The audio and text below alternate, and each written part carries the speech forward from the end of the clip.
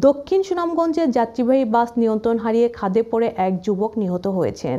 মঙ্গলবার সকালে উপজেলার আহসানমারা ব্রিজ সংলগ্ন মুক্তিযোদ্ধা ফলক এলাকায় এ ঘটনা ঘটে।